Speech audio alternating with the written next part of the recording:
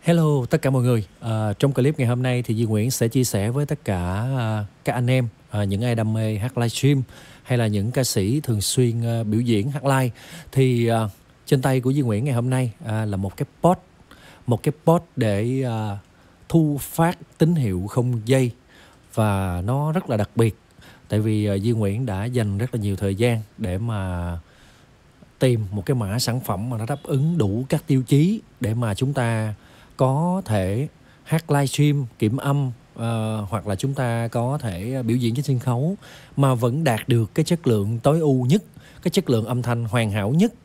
Nhưng đặc biệt giá cả là phải rẻ nhất nha. Đó chứ bây giờ chất lượng tốt mà giá mắc quá thì nó sẽ khó rất là khó để mà người tiêu dùng Việt Nam tiếp cận. Đó thì ờ, cho đến ngày hôm nay thì Duy Nguyễn đã bỏ ra khá là nhiều thời gian để Duy Nguyễn tìm cái mã sản phẩm nó có một cái chất lượng như thế này đó và di Nguyễn đã quyết định làm cái clip chia sẻ với tất cả các anh em.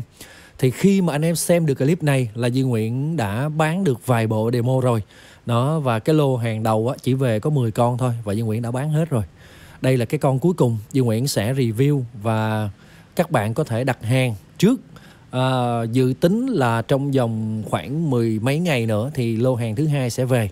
Đấy thì lần đầu là Duy Nguyễn đã demo và như Nguyễn thấy nó rất là ok. Đó cho nên như Nguyễn đã quyết định là review sản phẩm này và sẽ dự kiến cho ra mắt nó trong cái thời gian sắp tới.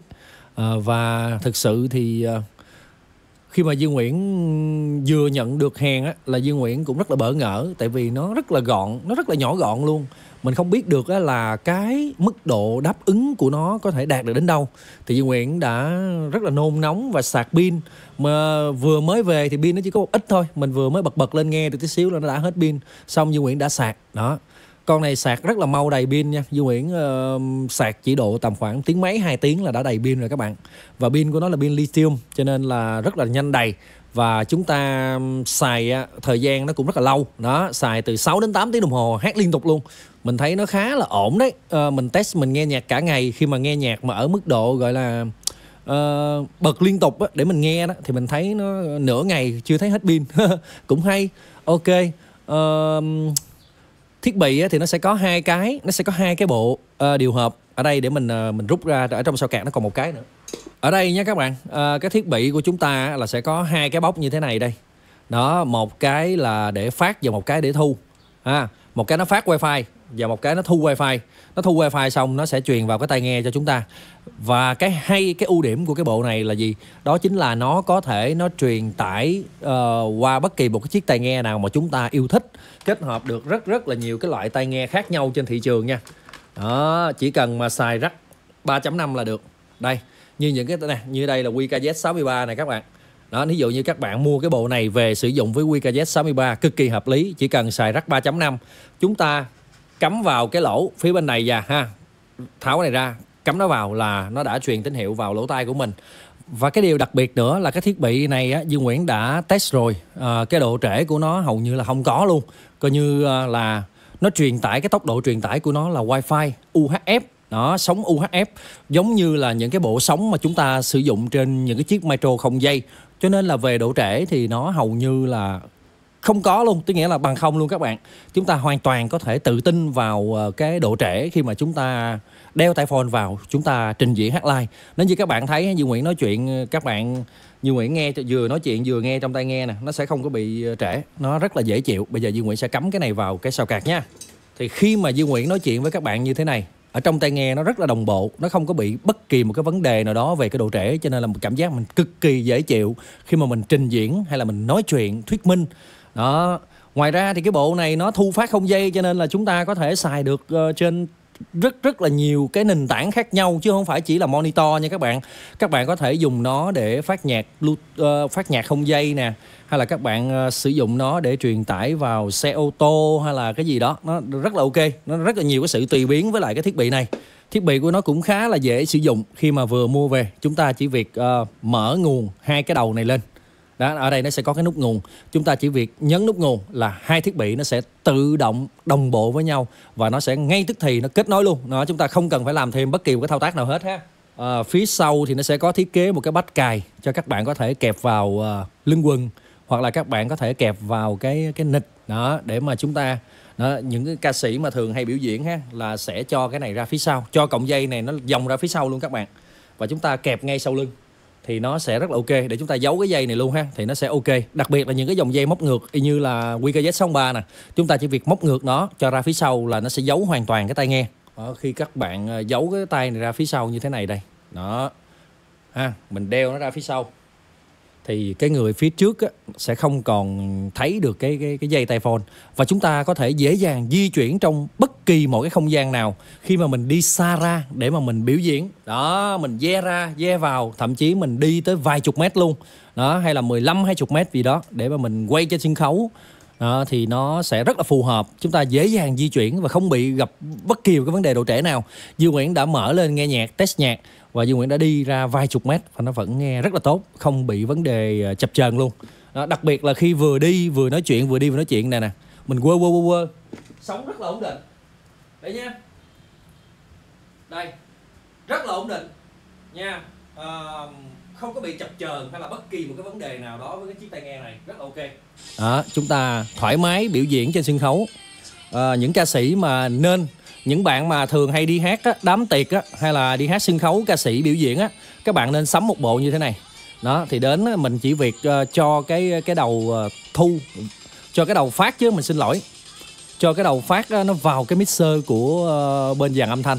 Đấy còn cái đầu thu á, là mình sẽ đeo lên đây và mình cầm tay phone đeo tay phone vô mình hát kiểm âm rất tốt và mình sẽ thể hiện bài hát một cách nó cực kỳ hợp lý luôn ha ok. Và bây giờ để chứng minh cho cái việc mà Dương Nguyễn nói nó không gặp bất kỳ vấn kỳ vấn đề một cái độ trẻ nào Duy Nguyễn sẽ test nhẹ thử một đoạn cho các bạn xem nhé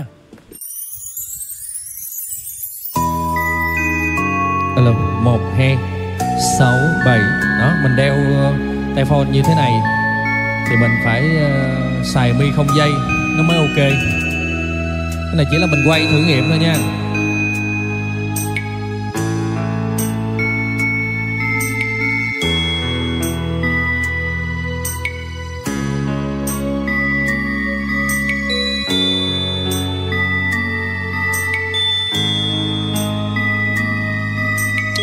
Alo.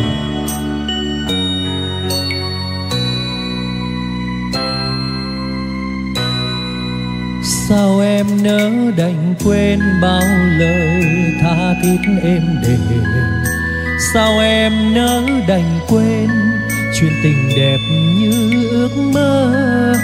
Sao em nỡ đành quên áng mây chiều nghiêng nghiêng bóng, những con đường quen lối đi mà nay nằm im đó em.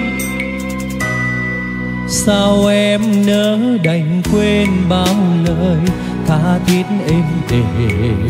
Sao em nỡ đành quên cho lòng này đau xót thêm? Sao em nỡ đành quên lúc đi về ai đưa đón những khi buồn ai đến thăm, còn đâu nữa mà mong. Nỡ đành quên sao em dư âm ngày xưa còn đó. Thời gian không làm sao xóa bao lần tay đến trong tay. Nhìn em anh âu yếm bảo em đừng xa vắng anh sao? Sao em nỡ đành quên kỷ niệm xưa buổi ban đầu?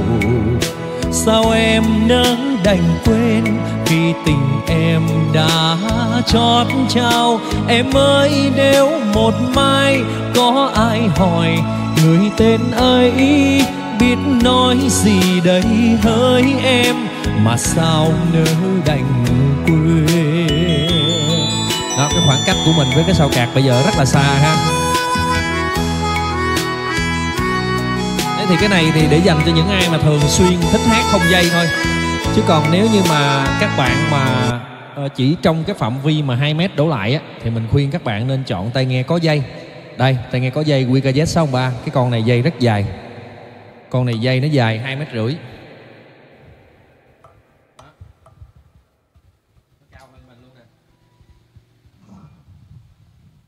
Hơn hai mét rưỡi luôn nha các bạn. Cái sợi dây này dài hơn hai mét rưỡi luôn cái con QKZ63 này nè, dây rất dài. Đó. Nếu mà các bạn ờ, sử dụng trong phạm vi 2 mét 3 mét thì ok. Đấy. Còn nếu mà các bạn muốn trên cái mức đó thì các bạn có thể suy nghĩ đến cái bộ ờ, thu phát tín hiệu không dây ha.